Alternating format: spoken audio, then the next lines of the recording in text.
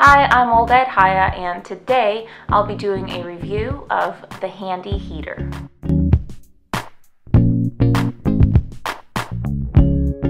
This is a personal heater that plugs directly into your wall outlet that's designed to provide you warmth and comfort wherever you need it. It retails for $29.99 plus an $8.99 processing and handling fee if ordered through handyheater.com. Of course, you can also purchase the Handy Heater on Amazon for a higher price of $49.88. Now, the Handy Heater claims that it provides on-demand instant heat. It plugs into any wall outlet. It has a compact design. It can heat up to 250 square feet of space.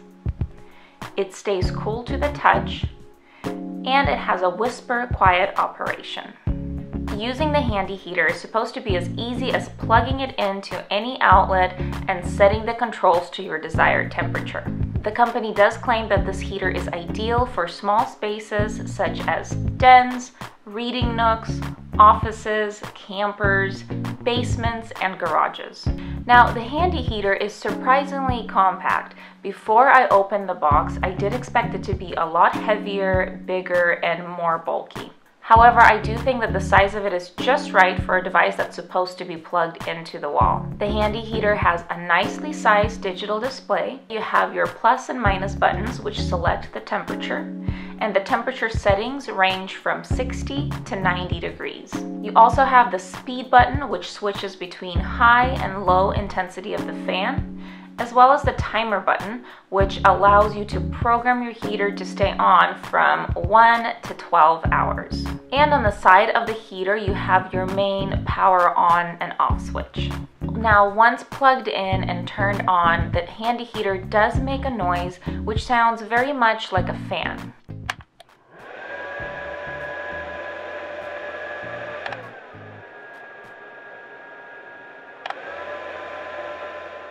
It's not very loud, but it's definitely audible, and I certainly wouldn't describe it as whisper quiet operation.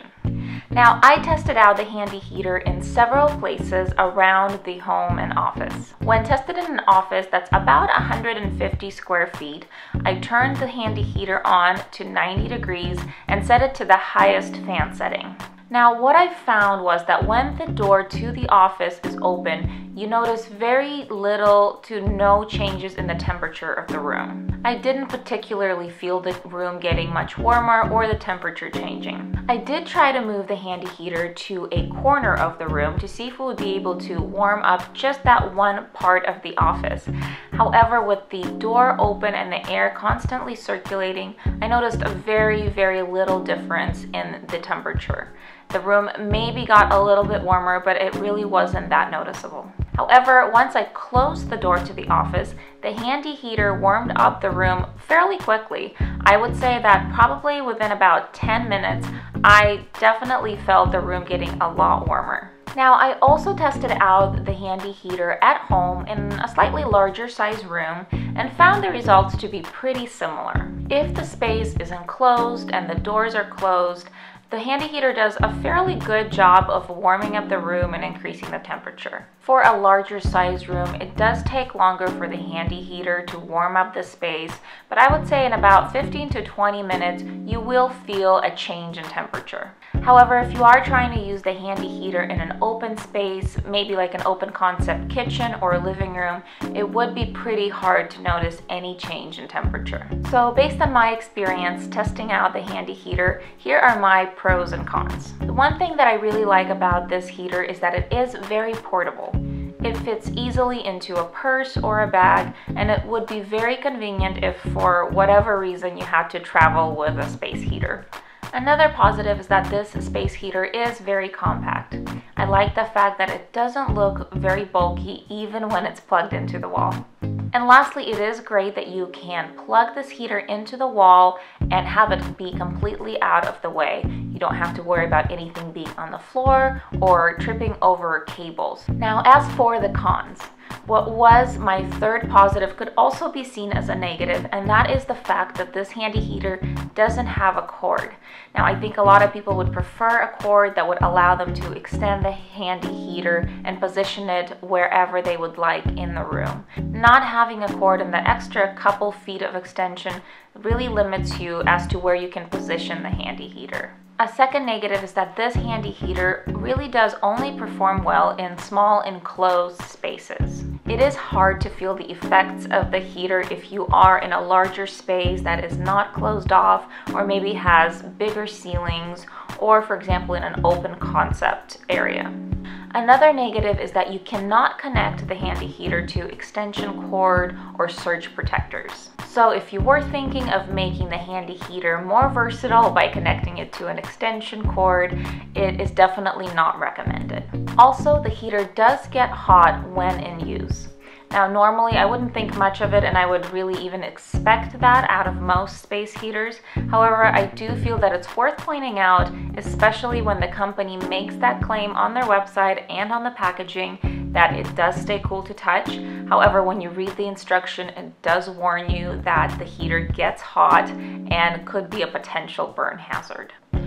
Also, this handy heater cannot be used with GFCI outlets or the safety outlets that we often find in bathrooms or laundry areas. For that reason, the safety instructions do state that you should not use the handy heater in bathrooms, laundry rooms, or any places where you can find those type of outlets. And lastly, in my opinion, the handy heater is just not a very good value. For under $50, you can easily find a space heater that would do a much better job of heating up larger areas and would have more settings and options such as oscillation, different temperature settings, and a fan only setting. Now, those space heaters might not be as compact or portable as the handy heater, but they would definitely do a much better job of heating an area or a room. So the bottom line is that the big emphasis with the handy heater seems to be on its compact design and portability.